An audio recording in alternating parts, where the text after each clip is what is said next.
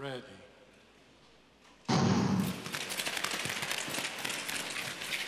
So here we go, the A final, great start by Poutsma. That's her weapon, those first one and a half laps, Velzeboer.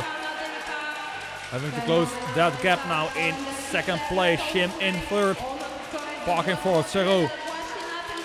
As her strong points have to come, those laps from Cero to close that gap towards the first four skaters. As Poutsma moves on on the way to the bell. The bell for the last lap in this A final 500 meters. It is Velzeboer now in second. Has closed that gap to Poutsma on the outside now. Velzeboer, great speed by the Dutch woman. As Velzeboer once more claims gold here on the ice in Gdansk. World and European champion Velzeboer claims gold. As her teammate Selma Poutsma wins the silver after her gold medal yesterday.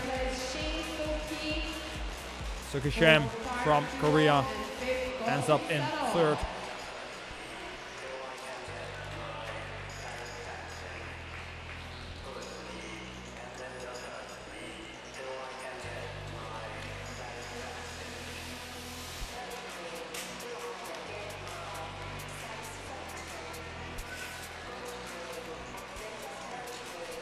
Replay of this A final. Great start by Poutsma.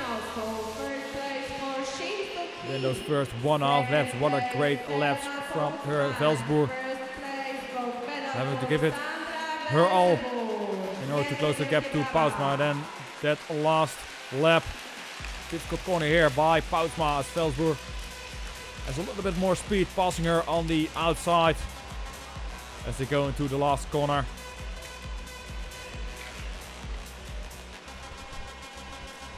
Velzeboer once more wins a 500 meters this season.